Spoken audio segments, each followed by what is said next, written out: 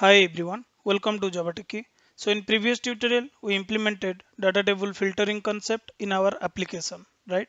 So in this tutorial, let's understand how can we export these records with various format like Excel, CSV, JSON or text. Okay, so let's begin with the development. Let's get started.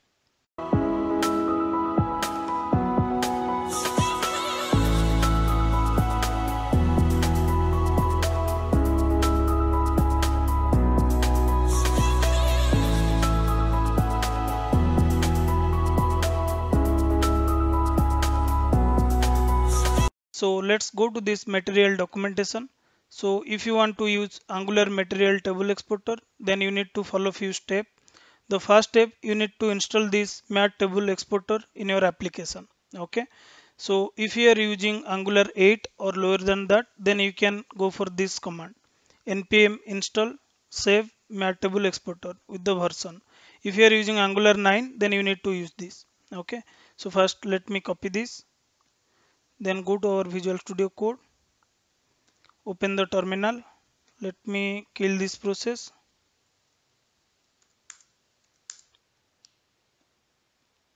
And paste this.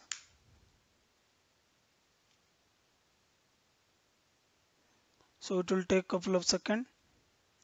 So here you can see we installed mat table exporter successfully. Yeah now go to the documentation then you just need to input this in your app.module.ts so let me copy this. Go to the visual studio code. Open the app module.ts so let me add it here. And this we need to add in our input section right? So add it here. Fine. Now save this. So if you go to the documentation if you are not using angular material then you can go for this CDK table exporter okay. As we are using angular material we will follow the first step. So I will add this link in video description so that you guys can refer it. Now what we can do we just need to do some changes in our HTML we no need to add any logic in our code. You just need to add few tag in HTML who will help us to generate the report in various format. Okay. So let me add those things. Go to the HTML let me minimize this. Yeah so let's add this exporter tag here. And let me add this mat table exporter. Fine. Now let's add few html button to generate a report. Okay. So what i can do i will create a div here. Fine. Now here i will add the button.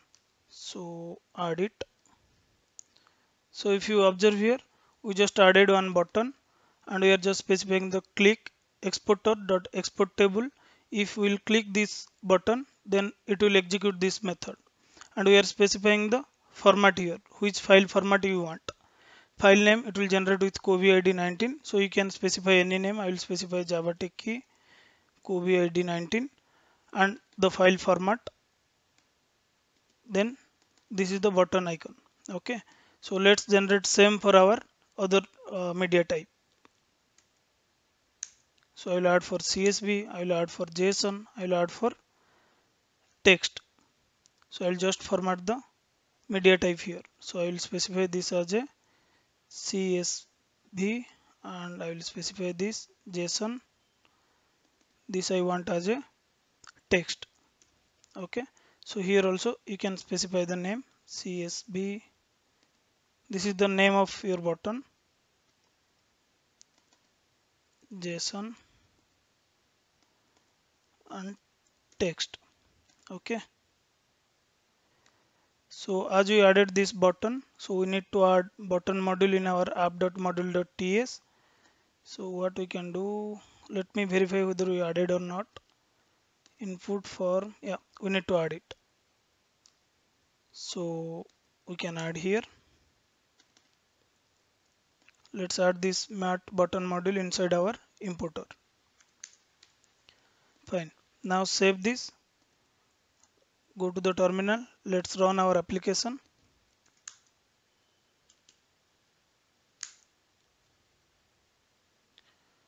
So let's wait it to start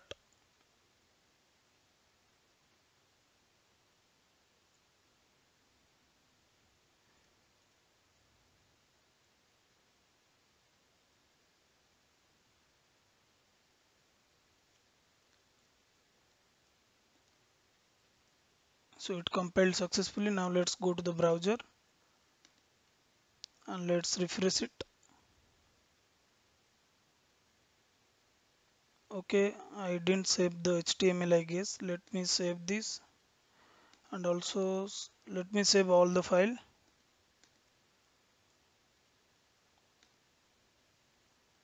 Yeah so you can see here right? So this is not properly aligned so we'll do that. So if I'll click on Excel it will generate the Excel file. If I'll click on CSV it will generate the CSV same for JSON and same for text. So let me open this Excel file.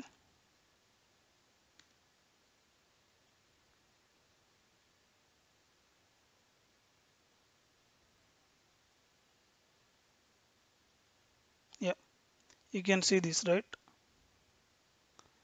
this is all the record we exported as a excel file. Same if you go for the csv you can find the csv you can check the json. So yeah you can open the text file.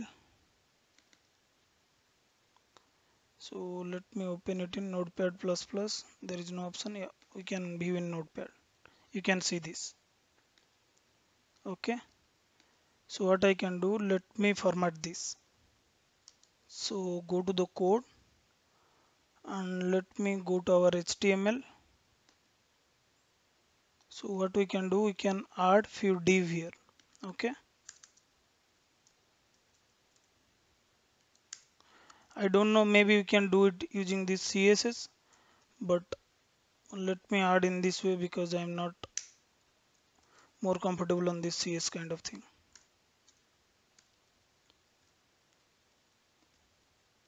now refresh it. Yeah. Now it's looking good. So here you can use this filter and we have multiple options to generate the reports. And also we have the sorting mechanism here and we have the pagination here right? So yeah I guess we are done with this coronavirus tracker application using angular material. Lot of features is inbuilt using this angular material. So you can develop this application by your own and you can deploy it in any cloud environment and you can get use of it. Okay that's all about this particular video guys. Thanks for watching this video.